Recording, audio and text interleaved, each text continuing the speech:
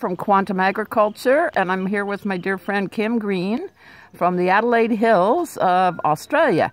Welcome, Kym. Thank you, Shabari. How are you all out there today? What a fine day we've got. So, what do you do? Uh, I'm a fifth generation apple and cherry grower down in Lenswood in South Australia. I've been doing biological farming since 2000, and in that, we've morphed it into some organics, some biodynamics, and now some energy work. I also do radionics to complement um, all my farming practices. Okay. So, what do you find the best about your radionics that you do? Oh, my radionics is my right hand man. So I can diagnose, I can analyse, I can broadcast, I can make homeopathic preparations. It's just like a complete right hand man that you can handball everything over there, and that uh, that process or that method really complements my my farming practice.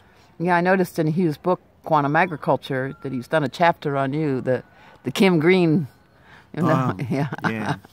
I suppose, uh, well, back in '93, I was awarded a Nuffield Farming Scholarship. So that uh, was a very big privilege, allowed me to travel the world looking at, at that time, apple and cherry systems, systems more in tree training, rootstocks, etc., etc.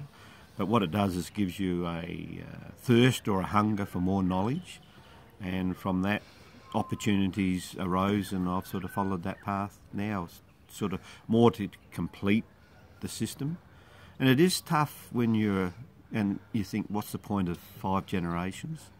Is that you get really well entrenched in the system by your parents, by your district, and it takes quite a bit of strength and uh, courage to develop something quite different against the flow of everybody. And, and from that Nuffield trip, I developed a tree training system for cherries, which cherries can grow traditionally 10 to 12, 15 metres high. Quite a social tree to, to harvest because you might have 10 people on the same tree for nearly a whole day. Wow. Whereas now I developed that we can pick them all from the ground, and uh, from that they call it the KGB, the Kym Green Bush. Some feel a bit threatened because I think it's like the the Russian uh, Russian KGB. so you got it, Sharby. That you know tries to bring a bit of humour into the way we teach, and uh, people feel quite relaxed when we bring humour to, to the table. So I work. I used to work quite a bit in uh, Oregon and Washington and California, and they've sort of got it. Now I work a lot in Chile with their growers, and their cherry growers are really on a big uh, swing to high densities, a lot of production. They're aiming at China and doing extremely well. So I go over and assist these guys, and man, that's a lot of fun. Lot of Oh, fun. good. and what do you like about the KGB system as compared to the old way? Well, we can pick it all from the ground. Wow. Uh, and of course, we use a lot of Vietnamese and ladies as well. And ladies don't have the strength to carry big long ladders around, so I just all our work's done from the ground, and the, the limbs are a bit like a fishing rod. When they got the crop on, we can just pull them over, and then they go back. And if a tree has too many stiff limbs, they're the first ones that you cut out. And I always have a saying: if you look at a tree and and observe it, what what makes a big tree, and it's big limbs. Mm-hmm. So we remove those big limbs early in its life, and then they send up replacement limbs, which are a lot lighter, and I call them the female limbs. The big limbs are male. They're usually strong and upright, but they don't give you too much fruit. Mm-hmm. Whereas the females, they're what you want. So you've got to nurture them, so they take take a lot more uh, care and maintenance. Hello, yeah. So we that can relate to the female race as well. But we love them. We love them to death. Those sort of limbs. You love them to life. Yeah, yeah. That's right. Love them to life. And look, they can break your heart. The Yep. rain can come Yeah. and crack, and it can break your heart. And uh, Yeah. so I've been following this remineralising that Hugh t- talks a lot about, getting the silica into the system, getting silica into the fruit to give it some flexibility. And my trees have changed their colour. Hugh always talked about uh, having the trees a sil- have a silvery glow, and my cherries are doing that now. So, uh, so that was that's a piece of the puzzle.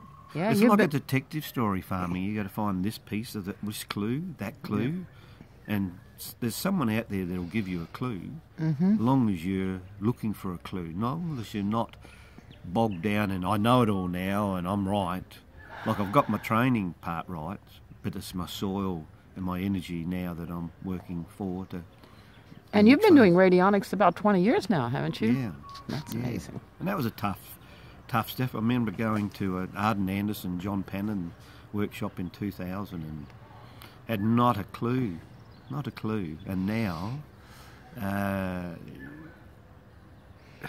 right into it. It's just Mm-hmm. natural now. It's just, it's just like getting up in the bed in the morning. It just comes natural. Sometimes Yeah. a bit hard, but Yeah, and what do you? How do you use it with your trees, your farm? How, Um, I can do it like a traditional uh, soil analysis through that. Uh, it'll have numbers for nitrogen, numbers for calcium and boron, so you can pull those numbers up and douse on it, scan on it. Have a stick plate that when you get to the the accuracy, it'll stick. Your fingers will stick to the plate. so that's like a turn dowsing in a way. Yes, this is dowsing. Yeah. And from that, you can determine whether you're short in minerals or there's a toxicity, and it could be really high magnesium. So then you have a reagent sheet, which is all your products. So if you've got a, if you've got a, uh, if we go back to the calcium, if you have a calcium deficiency, and I'm going to put on something, what calcium is it? Now, do you mean put on something radionically or physically? Both. You Both. ask, you douse to say whether I need to do a physical application, whether I do a broadcast, Okay. uh, whether you do it as a foliar, whether you do it as a ground. So if it was a calcium, do you put on gypsum? Do you put on lime? Do you put on calcium nitrate? Do you put on calcium Yeah. chloride? Do you put on So all that's done through dowsing then? yeah, Or what? Which the stick plate for you is your yeah, dowsing? Yeah, Yeah. And the stick plate works a lot faster. Yeah. I can just go bang, bang, bang, bang, Yeah. bang on questions. Uh, but it comes up with what's complementary to that plant or that soil at this time. Mhm. And you do it plot by plot, don't you? I You- do. Yeah. Yeah, that's awesome. And what I love about Kym is he keeps good records. My word, that's uh, I've kept every application with its um, radionic scanning numbers. Mm-hmm. So when you get the numbers, you, the calcium might want to go on with say boron and some fish and some kelp. Yeah. So when we douse, we we uh, come up with like a recipe. Mm-hmm. It's a bit like a cake. You put the flour in, and then you put the milk in, and then you put the butter in. Mm-hmm. So you know, and then you shake it all about and cook it, and then you put your icing on and your candles. well, you don't you don't put the candles in first. So when you're Yeah. putting out a folder, you don't put candles out first. You Yeah. there's a certain order. Yeah. So actually, that's something I've been questioning. You know, to apply a physical substance through radionics, if it works. So I'm glad to see it is complementary. You can do both if Yeah. it's called for. Yeah, well, and look, you can douse on all that, but you Yeah. know, Hugh suggests that you can put on a tenth of the substance, the- Yeah. the physical product, and enhance it with a radionic scan. yeah. Well, at the moment at home it's winter. Uh, the birds are hungry, particularly the lorikeets, so they're at my buds, on my fruit buds on the cherries, mm. and it's really steep country. It's wet. How do you put something to deter them? So I scan my birds to find out what they don't really like, and then just that broadcast that. What have you found they don't really like? Uh, I think what I'm using at the moment is the biodynamic preps. Mm-hmm. So it's not necessarily that they don't like, but it changes the frequency of the farm. That just makes it a very uncomfortable place. I, I call it um, the music balancer. So if Yeah, sort of like us- you in the orchestra, you know. yeah. like- yeah. So radionics is uh, a bit like listening to a DVD, Mm. but the real thing is like going to a concert. No, we can't go to a concert every day. Mm-hmm. So it's, the DVD brings back that concert movement of if we went. So with the the bod, um, the frequency, it's just trying to make the place a little bit uncomfortable. Mm-hmm. So it's a bit like if we were listening to if techno music was on in there, the doof doof doof doof most of us would migrate out of the room. Like there'd be a few that stay in there, the maybe the young ones. So the birds migrate out because. So when you've done the biodynamic preps radionically, uh, what's the general vitality? How does it change? Because I know you scan for general vitality, sometimes known as GV. That's correct. So the GV is your base figure, and and products, reagents, whatever you want to call them, either lift or drop the GV. So either good for you or not so good for you. So we will, I will go through the radionic cards and just douse on them in an order. So just say GV's 500, uh, 500 BD 500 might lift it to 650. Got it. But silica might drop it to 450 Might. might. Yeah. So it's it's you all of a sudden you see what's what that bird is receptive to or Yeah. it's repelling it. Yeah. And then you check your farm to make sure that those products going out aren't detrimental to the farm. So you have sort of two targets: yep.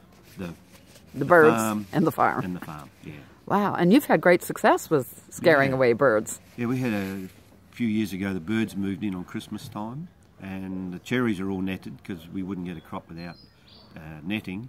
And they moved in on apples that were the size of a ping pong ball.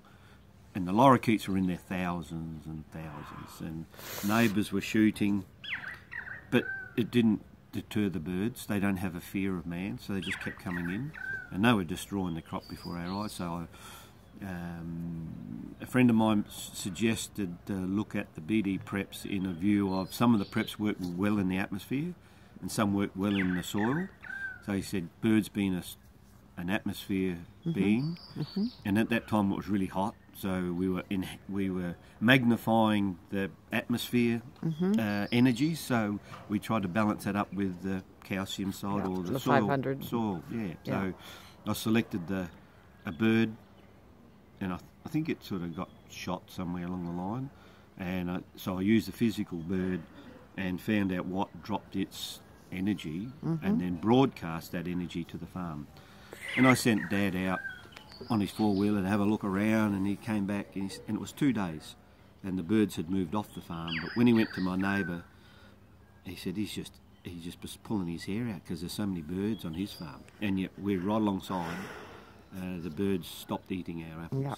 So that was really quite convincing. Quite proving that. Quite con- Well, not only that the biodynamic preps can do that, but that radionically you can do it. You didn't have to go out and stir and spray the have to- preps because you probably couldn't have. Well, sometimes when you're in middle of harvest and Yeah. you, something's chewing you up and you just don't have that time, or once the nets are on the cherries, we can't get back in there anyway. So I'll often send out a, a, a broadcast of one of my reagents. Could be Be- BD. Yeah, being the previous chair of Biodynamic Agriculture Australia, and now another time you're taking the courage to be a board member.